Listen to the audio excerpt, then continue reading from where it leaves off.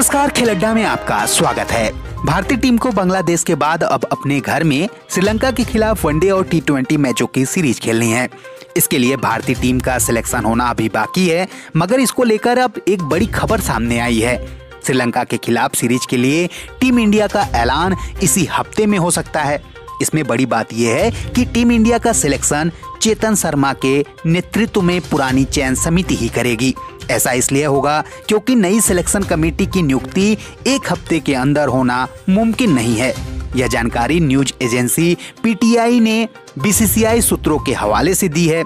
आपको बता दें कि हाल ही में हुए टी ट्वेंटी वर्ल्ड कप में भारतीय टीम का प्रदर्शन अच्छा नहीं रहा था।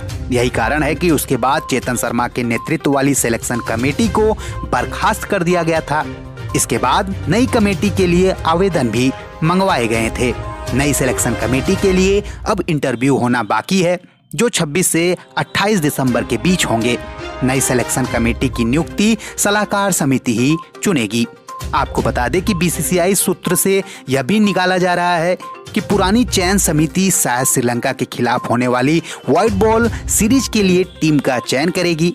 अभी तक ऐसा नहीं लगता है कि रोहित शर्मा की उंगली टी सीरीज़ से पहले पूरी तरह ठीक होगी।